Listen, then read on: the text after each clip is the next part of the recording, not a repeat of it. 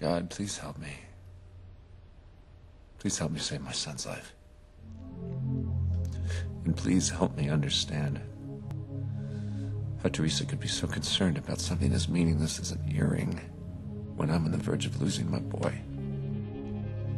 Will you help me understand how someone who loves me so much could be so uncaring at a time like this? Ethan, I do care. More than you know. If only I could tell you that I'm going to save your son's life. But I can't. You may never forgive me for what you think I am not doing, and I may lose you. But at least Jonathan will have a chance to live.